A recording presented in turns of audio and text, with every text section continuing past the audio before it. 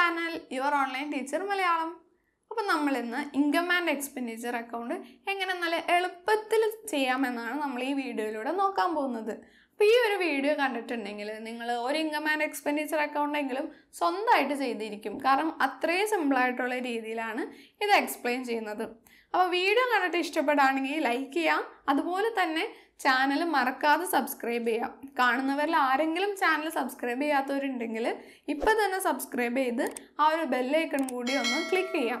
കാരണം എന്നാൽ മാത്രമാണ് നമ്മൾ ഡെയിലി ഇടുന്ന വീഡിയോസ് നിങ്ങൾക്ക് കറക്റ്റായിട്ട് കിട്ടുള്ളൂ അപ്പോൾ അതനുസരിച്ച് നിങ്ങൾക്ക് ഇങ്ങനെ കണ്ടിന്യൂസ് ആയിട്ട് പഠിക്കുകയും ചെയ്യാം. ഓക്കെ അപ്പോൾ മാത്രമല്ല നമ്മൾ ഇതുവരെ ചെയ്തേക്കുന്ന എല്ലാ വീഡിയോസും ഓരോ സബ്ജക്റ്റ് അനുസരിച്ച് പ്ലേലിസ്റ്റിൽ നമ്മൾ ആഡ് ചെയ്തിട്ടിട്ടുണ്ട്. അപ്പോൾ ആ ഒരു പ്ലേലിസ്റ്റിന്റെ ലിങ്ക് ഞാൻ താഴെ ഡിസ്ക്രിപ്ഷൻ ബോക്സിൽ കൊടുക്കാം.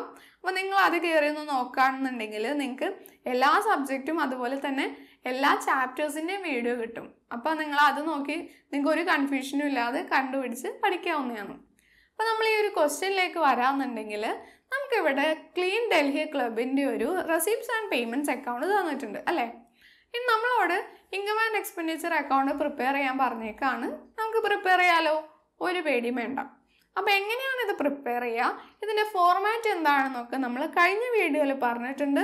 ഓരോ ഐറ്റംസ് എങ്ങനെ വേണം ട്രീറ്റ് ചെയ്യാൻ എന്നെല്ലാം കഴിഞ്ഞ വീഡിയോയിൽ ഡീറ്റെയിൽ ആയിട്ട് പറഞ്ഞിട്ടുണ്ട്. അപ്പോൾ ആരെങ്കിലും ആ വീഡിയോ കാണാത്തവരുണ്ടെങ്കിൽ അത് പോയി കാണാം. പ്ലേലിസ്റ്റിൽ നിങ്ങൾ കയറി നിങ്ങൾക്ക് അത് കിട്ടും. അപ്പോൾ ഈ റെസിപ്റ്റ്സ് ആൻഡ് പേയ്മെന്റ്സ് അക്കൗണ്ടിൽ നമുക്ക് ഓപ്പണിംഗ് ബാലൻസും ക്ലോസിംഗ് ബാലൻസും ഉണ്ട് അല്ലേ? ഈ ഓപ്പണിംഗ് ബാലൻസും ക്ലോസിംഗ് ബാലൻസും നമ്മൾ കൺസിഡർ ചെയ്യേണ്ട ആവശ്യമേ ഇല്ല. ഇൻകം ആൻഡ് എക്സ്പെൻഡിച്ചർ പ്രിപ്പയർ ചെയ്യുമ്പോൾ അപ്പോൾ അത് രണ്ടും നോക്കണ്ടല്ലോ അപ്പോൾ ഇനി നെക്സ്റ്റ് ഐറ്റം എന്താണെന്ന് നോക്കാം. ഇവിടെ സബ്സ്ക്രിപ്ഷൻസ് തന്നിട്ടുണ്ട് ഇരുപത്തിരണ്ടായിരത്തി അഞ്ഞൂറ് രൂപ. സബ്സ്ക്രിപ്ഷൻ എന്ന് പറയുമ്പോൾ ഒരു ഓർഗനൈസേഷനെ സംബന്ധിച്ച് അവർ സ്ഥിരമായിട്ട് വാങ്ങിക്കുന്നതാണ് അല്ലെങ്കിൽ അവർക്ക് സ്ഥിരമായിട്ട് കിട്ടുന്ന ഒരു ഇൻകമാണ് സബ്സ്ക്രിപ്ഷൻ എന്ന് പറയുന്നത്. അപ്പോൾ അതുകൊണ്ട് തന്നെ നമുക്ക് സബ്സ്ക്രിപ്ഷൻ എന്ന് പറയുന്നത് റവന്യൂ നേച്ചറിലുള്ള ഒരു ഐറ്റമാണെന്ന് നമുക്ക് പറയാം അല്ലേ? അപ്പോൾ അതുകൊണ്ട് തന്നെ ഇൻകം ആൻഡ് എക്സ്പെൻഡിച്ചറിന്റെ ഇൻകം സൈഡിൽ സബ്സ്ക്രിപ്ഷൻ എന്ന് പറഞ്ഞിട്ട് ഇരുപത്തിരണ്ടായിരത്തി അഞ്ഞൂറ് രൂപ നമ്മൾ എഴുതണം.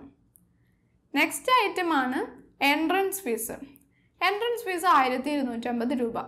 എൻട്രൻസ് ഫീസിന്റെ അഡ്ജസ്റ്റ്മെന്റ് എങ്ങനെയാണെന്ന് നമ്മൾ ഓൾറെഡി നേരത്തെ പറഞ്ഞിട്ടുണ്ട്. കഴിഞ്ഞ വീഡിയോയിൽ പറഞ്ഞതാണ്. അതായത് എൻട്രൻസ് ഫീസ് സാധാരണ നമ്മൾ ബാലൻസ് ഷീറ്റിന്റെ ലയബിലിറ്റി സൈഡിലാണ് എടുക്കാറ്. പക്ഷേ ചെറിയ എമൗണ്ട് ആണെന്നുണ്ടെങ്കിൽ നമുക്കത് ഇൻകം ആൻഡ് എക്സ്പെൻഡിച്ചർ അക്കൗണ്ടിന്റെ ഇൻകം സൈഡിലേക്ക് എടുക്കാം. അതുകൊണ്ട് തന്നെ നമുക്കിവിടെ എൻട്രൻസ് ഫീസ് ആയിരത്തി ഇരുന്നൂറ്റി അൻപത് രൂപ എഴുതാം. നെക്സ്റ്റ് ആണ് ഡൊണേഷൻ ഡൊണേഷൻ രണ്ടായിരത്തി അഞ്ഞൂറ് രൂപ. ഈ ഡൊണേഷൻ എങ്ങനെയാണ് ട്രീറ്റ് ചെയ്യുന്നതെന്ന് വെച്ചിട്ടുണ്ടെങ്കിൽ ഒരു പ്രത്യേക ഒരു കാര്യത്തിന് വേണ്ടിയാണ് ഡൊണേഷൻ പറഞ്ഞിട്ടില്ല എന്നുണ്ടെങ്കിൽ നമുക്കത് നേരിട്ട് ധൈര്യമായിട്ട് ഇൻകം ആൻഡ് എക്സ്പെൻഡിച്ചറിന്റെ ഇൻകം സൈഡിലേക്ക് എഴുതാം. എന്തെങ്കിലും ഒരു കാര്യത്തിന് വേണ്ടി അതായത് ഡൊണേഷൻ ഫോർ സ്പോർട്സ് അങ്ങനെ ഒരു എന്തെങ്കിലും ഒരു പ്രത്യേക കാര്യത്തിന് വേണ്ടി തന്നേക്കുന്നതാണെങ്കിൽ നമുക്കത് എവിടെ എഴുതാൻ പറ്റില്ല കേട്ടോ അത് നമ്മുടെ ലയബിലിറ്റിയാണ് അപ്പോൾ അത് മറക്കാതെ ശ്രദ്ധിക്കാം. നെക്സ്റ്റ് ആണ് റെന്റ് ഓഫ് ഹോൾ നമ്മൾ ഹോൾ വാടകയ്ക്ക് കൊടുത്തു. ഈ ഒരു ക്ലബ്ബ് ഈ ക്ലബിന് ഹോളൊക്കെ ഉള്ളതാണ്. അപ്പോൾ അവരത് വാടകയ്ക്ക് കൊടുത്തിട്ട് അവർക്ക് റെന്റ് കിട്ടി. അപ്പോൾ ആ റെന്റ് എന്ന് പറയുന്നതും റവന്യൂ നേച്ചറിലുള്ളതാണല്ലോ എപ്പോഴും റെക്കറിങ് ആയിട്ട് നമുക്ക് കിട്ടിക്കൊണ്ടിരിക്കുന്നതാണ്. റെക്കറിങ് ആയിട്ടുള്ള കാര്യങ്ങൾ മാത്രമേ നമ്മൾ ഇൻകം ആൻഡ് എക്സ്പെൻഡിച്ചർ അക്കൗണ്ടിൽ എഴുതൂ. അതായത് എപ്പോഴും നടന്നുകൊണ്ടിരിക്കുന്ന കാര്യങ്ങൾ അല്ലാത്ത കാര്യങ്ങൾ അതായത് ക്യാപിറ്റൽ നേച്ചറിലുള്ള കാര്യങ്ങളൊന്നും നമ്മൾ ഇതിലേക്ക് എഴുതില്ല. നെക്സ്റ്റ് കണ്ടോ സെയിൽ ഓഫ് ഇൻവെസ്റ്റ്മെന്റ് മൂവായിരം രൂപ. ഇത് നമ്മൾ ഇൻകം ആൻഡ് എക്സ്പെൻഡിച്ചർ അക്കൗണ്ടിൽ എടുക്കണോ? എടുക്കണ്ട. കാരണം എന്താണെന്ന് വെച്ചിട്ടുണ്ടെങ്കിൽ ഇൻവെസ്റ്റ്മെന്റ് എന്ന് പറയുന്നത് ഒരു അസറ്റ് അല്ലേ? അസറ്റ് നമ്മൾ എപ്പോഴും ഇങ്ങനെ വാങ്ങിച്ചും വിക്ക് വിറ്റുകൊണ്ടിരിക്കുമോ ഏതൊരു ഓർഗനൈസേഷൻ ആണെങ്കിലും ഇല്ലല്ലോ. അപ്പോൾ അത് റവന്യൂ നേച്ചറിലുള്ള ഒരു ഐറ്റം അല്ല. അത് ക്യാപിറ്റൽ നേച്ചറിലുള്ള ഒരു ഐറ്റം ആണ്. പലപ്പോഴും മാത്രമേ അത് നടക്കുന്നുള്ളൂ. സോ നമ്മൾ അതിനെപ്പറ്റി ബോധരേ ചെയ്യണ്ട. അത് നമ്മൾ എടുക്കണ്ട. അപ്പോൾ റെസീപ്സ് റെസീപ് സൈഡിൽ നിന്ന് ഇൻകം സൈഡിലേക്കുള്ളതെല്ലാം നമ്മൾ എഴുതിയിട്ടുണ്ട്. ഇനി നമുക്ക് പേയ്മെന്റ് സൈഡിൽ നിന്ന് എന്തൊക്കെ വരും നോക്കാം. ആദ്യം തന്നെ സാലറി ആയിരത്തഞ്ഞൂറ് രൂപ. സാലറി എന്ന് പറയുന്നത് നമുക്ക് സ്ഥിരമായിട്ട് വന്നുകൊണ്ടിരിക്കുന്ന ഒരു പേയ്മെന്റ് അല്ലേ? അപ്പോൾ ഒരു എക്സ്പെൻസ് ആണ്. അതുകൊണ്ട് തന്നെ സാലറി ആയിരത്തി അഞ്ഞൂറ് രൂപ എഴുതി. അതെന്തായാലും എക്സ്പെൻഡിച്ചർ സൈഡിൽ എഴുതിയേ പറ്റൂ. നെക്സ്റ്റ് റെന്റ് എണ്ണൂറ് രൂപ. റെന്റ് കൊടുക്കണ്ടേ? റെന്റ് നമ്മൾ വല്ലപ്പോഴും കൊടുക്കണയാണോ? അല്ലല്ലോ. റെന്റ് എല്ലാം നമ്മൾ സ്ഥിരമായിട്ട് കൊടുക്കണേയാണ് സോ റെന്റും എണ്ണൂറ് രൂപ എഴുതി. നെക്സ്റ്റ് ആണ് ഇലക്ട്രിസിറ്റി ഇലക്ട്രിസിറ്റി മൂവായിരത്തി അഞ്ഞൂറ് രൂപ. ഇലക്ട്രിസിറ്റി മൂവായിരത്തി അഞ്ഞൂറ് രൂപ ആയതുകൊണ്ട് ഇലക്ട്രിസിറ്റി ചാർജൊക്കെ നമ്മൾ സ്ഥിരം കൊടുക്കുന്നതാണ്. ഒരു ഓർഗനൈസേഷന് സ്ഥിരമായിട്ട് വരുന്ന ഒരു എക്സ്പെൻസ് ആണ് ഇലക്ട്രിസിറ്റി അപ്പോൾ ഇലക്ട്രിസിറ്റി മൂവായിരത്തി അഞ്ഞൂറ് രൂപ എഴുതി. നെക്സ്റ്റ് ഐറ്റം എന്താണ്? ടാക്സസ് ആയിരത്തി എഴുന്നൂറ് രൂപ.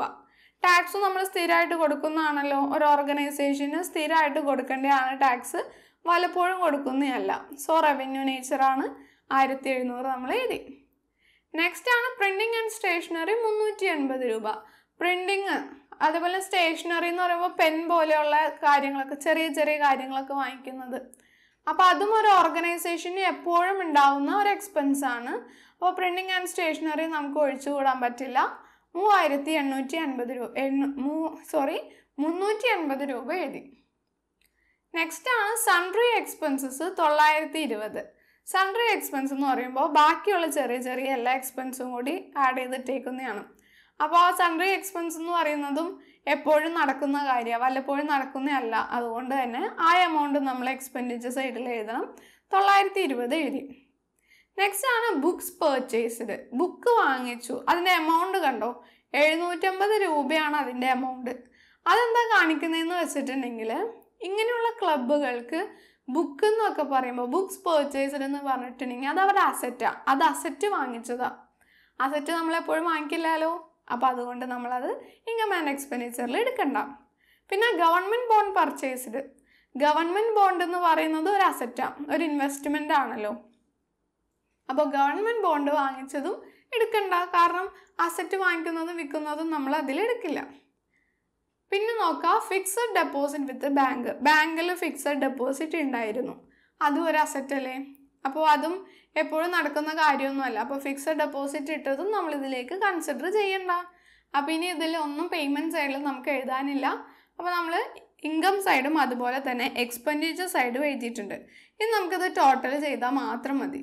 അപ്പോൾ ടോട്ടൽ ചെയ്യണം എങ്ങനെയാണെന്ന് വെച്ചിട്ടുണ്ടെങ്കിൽ നമ്മൾ ഈ ഒരു സൈഡും ഈ ഒരു സൈഡും ആഡ് ചെയ്ത് നോക്കാം. ഏത് സൈഡിലാണ് എമൗണ്ട് കൂടുതൽ എന്ന് നോക്കാം. അപ്പോൾ നമ്മൾ ആഡ് ചെയ്ത് നോക്കുമ്പോൾ നമുക്ക് ക്രെഡിറ്റ് സൈഡിൽ അതായത് ഇൻകം സൈഡിലാണ് കൂടുതൽ. ഇൻകം സൈഡിലെ ടോട്ടൽ ഇരുപത്തിയേഴായിരം രൂപയാണ്. സോ ഇരുപത്തിയേഴായിരം രൂപ എഴുതി.